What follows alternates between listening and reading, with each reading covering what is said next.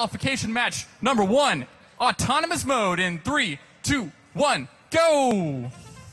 And here go the robots after the races. Now, for those of you who may not be familiar with VRC in the zone, every match begins with 15 seconds of robots moving autonomously, that is, according to a preset program, instead of being driven by drivers. And autonomous mode is over. Red has the lead, so they get that 10 point bonus. Looks like our teams are ready to go, so driver control will begin in three, two, one, go! So at the end of the 15 second autonomous mode, the Red Alliance had scored more points than the Blue Alliance, so they get a 10 point autonomous bonus.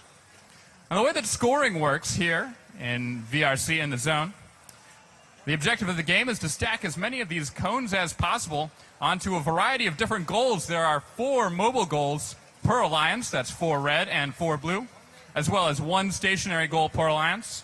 Teams have two minutes to score cones onto mobile goals and then move those mobile goals into either the 5 point, 10 point, or 20 point zones. Teams get the appropriate number of points for having a goal in the appropriate zone at the end of the match. You can only have one mobile goal in the 20 point zone, but all the others can have as many as you want.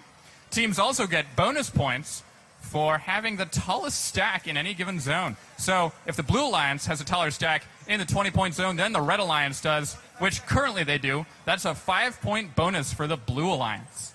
We got a lot of action here on this side of the field. The Red Alliance with a massive stack of cones over in their 10 point zone. I see a whole 10 cones on top of there. We've got 30 seconds left on the clock. So there's the match timer warning.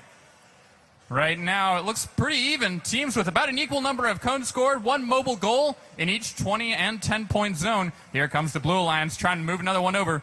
It's going to be 6007X. It looks like their drive is having a little bit of trouble, but they do manage to get into that mobile zone. They've got 10 seconds left on the clock.